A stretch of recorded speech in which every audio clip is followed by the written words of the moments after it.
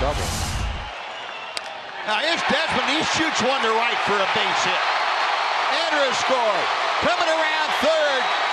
Delino to Shield scores, and the Rangers have taken the lead three to two as Ian Desmond drives in a pair.